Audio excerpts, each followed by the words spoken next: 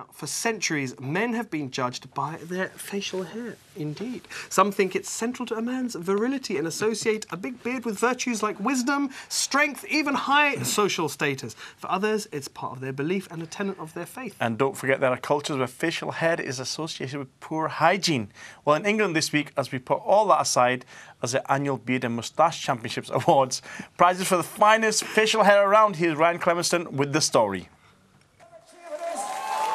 The world's hairiest men chin stroke and pose as competitors gather in Bath in southwest England. So we're allowed. Welcome to the British Beard and Moustache Championships.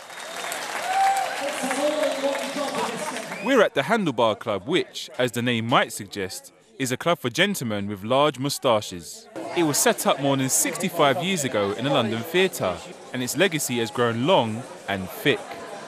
Competitors pay for the privilege to enter the championships. It's all because they want to obtain the ultimate beard bragging rights. Oh, and a trophy. There are different categories for the fuzzy faced competitors. Categories of moustache include natural, English, handlebar, and freestyle. Partial beard categories are natural goatee, musketeer, freestyle, and sideburns. From Brisbane in Australia. For full beards, competitors have to battle it out in the natural full, natural full with styled moustache, and freestyle categories. This year, there's a new category called Business Class Beard. It's described as the city gent look. Ooh. The Bath Pavilion draws a large crowd of supporters and cheering fans for this most unusual spectacle. Competitors came from across the country, but there was also a strong international contingent from places like America, Australia, Italy, Norway, and Sweden. Everyone I meet is really eccentric, interesting, uh, lots of different people from different walks of life. It's fantastic. There's a great sense of fun and frivolity at the championship, a friendly rivalry where like minded people can share their passion and express their eccentricity. However, the competition isn't for the shy or retiring because entrants need to show off and engage the audience on stage. It's probably why so many were dressed in flamboyant outfits to match their fabulous facial hair. There were also various props and banners that were used to charm and excite the crowd in an attempt to showcase their facial fuzz. A lot of primping and preening goes on behind closed doors before the competition takes place. But competitors are barred from using extensions or hairpins, although wax and hairspray are allowed in some categories. As well as awarding prizes for the finest fuzz going, the championships are also staged to encourage and celebrate standards of excellence in the growth, design, and presentation of facial hair. I'll tell you what, that puts some brothers to shame. It does indeed. I said there's some serious facial hair going on there. Well, you know what? We've got some here in the studio. Joining us now are two gentlemen who took part in the championships, putting themselves forward with their rather smart-looking moustaches and beards. Good evening, Jimmy and Giovanni. Welcome to the Indeed. show. And Welcome of course, to the show. Jimmy Thank you. Bareface. Yeah. Bareface. Bareface. Indeed, Jimmy Bareface. How's it growing? Very good. How's it growing? Long. Long And thick. Listen, um, I mean, you know, lots of people associate beard with, you know, some are faith background, others are just wacky. So- In some cultures, we mentioned earlier, you know, it's just not good hygiene. What deci- made you decide to go for this? Whew. Uh, well, I was uh, with my brother. We were entering uh, something called a Spartan race, which is one of these mud obstacle type Yes, yes, races. of course. And, and at the time, we thought, well, if we're going to do it, let's go and look like Spartans. Wow. So we started growing the beards, and um, we did the race. And then afterwards, thought, yeah, it's, it's going to stay. Let's keep it and just keep growing it. And uh, I mean, yours is not just the beard as well. You've got an extremely handsome curly moustache there as well. Um, on, a, on, a, on a realistic level, like on a day-to-day level, because that's not something you can take off. I mean, that is something that's fixed. It's there, you know, and it's it's not going anywhere. In terms of day-to-day life, going to work, mixing with friends and family, everyone's accepting it, or funny stares wherever you go. Generally, some some odd looks. M- Most people are, you know, I get some people laughing as they walk past, which is always amusing. But yeah, it makes people smile, which is a good thing. Yeah. Giovanni, I mean, it is the in thing. Beards are the in thing at the moment. Beards Yes, and moustaches. Uh, but moustaches of mm-hmm. that level is something a bit unusual, isn't it? Mm-hmm. Yeah. I mean, I, I've been growing it for 15 years, so I'm not that kind of years. fashion thing for me, but yeah. Wow. And- And, and you- why I did you noticed- decide to grow it? Well, I mean, he's It's obviously just told- laziness. But you've, you've obviously gone round the rest of your face. But we were talking. We were looking at that clip there from the Beard and Moustache Championships. Now you beat the chap that we saw. One of them. You beat him into second place. Yeah. So you're second for very good. But you got thrown out. Yeah, you know, they don't get me. they don't get you, huh? They said it was too natural. Yeah, too natural. There Wow. You, go. you see, you go, are, are you going to re-enter? Are you going to come up with some Yeah, new yeah, scheme? every time, every time. Every time, different clothes. I mean, as, as, as, as Naeem was saying, um, beards are very trendy at the moment. I mean, everybody, you know, I mean, I, I started growing my beard about 15 years ago. It's a good beard. And it, it wasn't very trendy then. It's just a Um, little kid's beard compared to It- you it guys, is, I'll yeah. tell you. But, but, but Jimmy, I mean, you know, uh, now every celebrity, or you know, pop stars, rock stars, Hollywood stars, sports people, rugby players, everyone's got a beard at the moment. Facial hair is really making a comeback, isn't it? a big comeback. But it's, it, I mean, people often ask us, you know, what's going to happen if the if the bubble bursts? And beards have been growing forever. You know, absolutely forever. So, you know, trends come and go, and there might be, you know, a slight decline in people having beards, but there's always going to be beard wearers. You know. What, what, what's it like walking into a competition room with that number of guys and you think, wow, that looks good? That's interesting. What- What's it like seeing other beard fanatics or moustache fanatics for that matter? Not really. I mean, I mean, I get excited with other people, you know, because yeah, they always, and especially if someone is really into it. So they, you Well- see, you, sm- you can smell them when you enter the competition. First thing you get, oh, what do you use? Oh, that's spicy. Or oh, yeah, that's smoky. Or that's uh, Ah, whatever. you see. so it's kind of, you know, involves every single sense of, you know, ladies, you can On that touch note, it, you can smell it. ladies, can- hold on, what do the ladies think? Ladies over there, you've kept very quiet over there. What, what do we think about Is it all your this facial hair?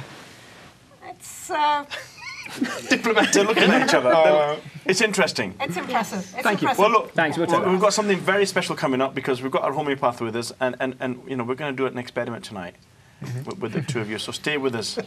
Brilliant, A absolutely. little brilliant. worried now. Now, 30 countries and 120 competitions show their skills. Competitors show their skills at a world championship that is truly one of a kind. You see, it's not all about hustling with opponents and tussling and tackling them down. We aren't talking about teams chasing balls around aimlessly or aiming missiles at targets. We'll let Sadia Chaudhry explain the idea. Bright sunshine and lots and lots of space. That's what you find as competitors at this tournament ready up their chainsaws and set their bulldozers on standby.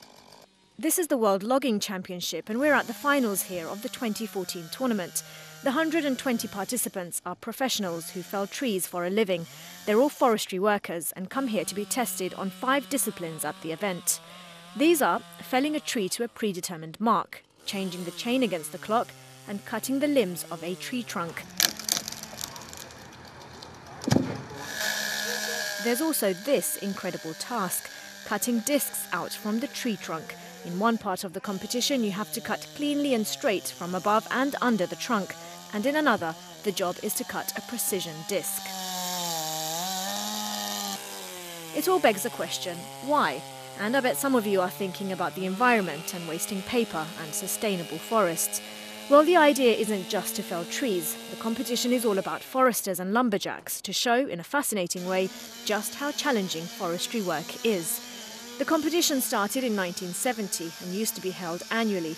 It now takes place every two years, and this week's tournament marks its 31st. The town of Brienz here in Switzerland hosts it, and each time trades in its usual artist studios for an open air arena. Instead of carving knives, it's chainsaws that are the centre of attention. A combined score from all of the challenges are then rated in an overall standings before one person is named the winner of the Logging World Cup. Living the Life can tell you that this year's champion is Juli Huber, who took the crown for Germany, while Switzerland and Italy came in respectively second and third. All of the competitions are held in this spacious open-air arena near the Foresters Lodge of Brienz, located directly on the lake. So, as well as gaming and enthusiasm, spectators are treated to the luscious surroundings of the tournament, a space like no other, where the peaceful landscape is only interrupted by the occasional. Timber! It's not all fun and games. The tournament is taken extremely seriously by the competitors, who spend weeks carefully planning what tools and machinery they need so that they can, touch wood, get get that all important advantage over everyone else. That's a man's job, It is. isn't it? Logging down trees. It's, it's a man's job to maintain his beard as well. Doing that. It is indeed. And on that note, I think you look great. what do you- Lumberjack shirt. You actually make beard maintenance products, Oh yeah, I do. Um, handmade. Yeah, handmade. You bare must face. have had a boom in the market recently. Yeah, I mean, we, we started uh, before you know it went big, and yeah, we were. What kind of stuff? What, what do you use? Um, so a mixture of, of, of different blends of oils. So apricot kernel oil, coconut oil, argan oil, and jojoba, and then different essential oils. Well, we've got our own concoction. We've got our Sabra, expert here today. Uh, Sabra, let's see what we can do here. We have organic virgin coconut oil. Have a little mix of that. Go on. Extra do that. We- virgin. We, only about. Whole And, and what are you mixing it with? So that's With some co- uh, rosemary essential rosemary. Okay, rosemary. oil, which is wow. a hair stimulant. Okay. and Oh, hair stimulant. I need some of that. I could use that on What top. can do with that? I could use and, that and, on top. and you use products as well to No, maintain. no, usually no. I don't usually. No, no. So, I could tell Jimmy, he's- you, I'm you're not the obviously best customer.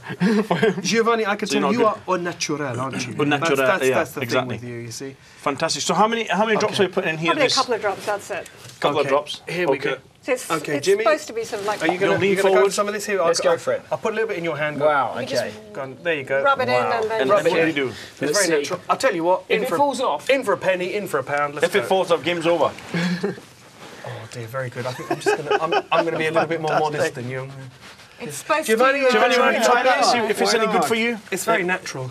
It's very natural. I'd like to offer you some, but your beard's just not up It's to just it, not man. for It's just not. Okay, can you put it in your hair as well? It's not You can put it in Yeah, your you hair. can. Yeah. Hair's- Yeah, makes yeah, I nice. actually- put some on my on, hair. on a serious note, I You actually use some. this as moisturiser Yeah. on my head and my face. I Fantastic. use uh, How does it coconut oil. feel? Giova- Giovanni, you said that you I'm don't use any roast. product. How is it? You're ready for what? Fantastic, brilliant. Fantastic.